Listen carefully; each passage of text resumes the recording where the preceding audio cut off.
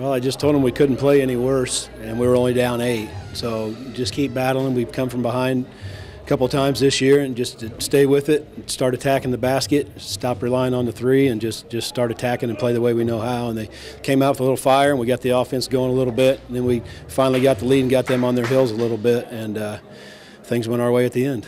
How important is it all year long to play as many close games as you did? We joked earlier that, or er, on Friday that you know you may not have won all those close ones, but you knew what it took to win close games, and obviously you needed that today. Yeah, that's what I just told them after the game. That's why we play as tough a schedule as we do, and we take it on the chin a little bit and go 12 and 9. But it's for situations like this that, you know, we've played from behind, we've played in close games, and tonight, you know, it paid off, and we were able to put them away.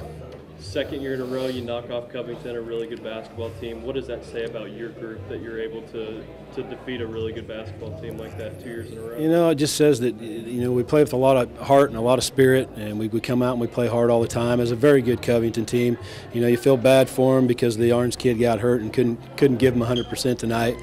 But uh, you know that happens at times, and we were fortunate tonight to, to be a point better than they were. So.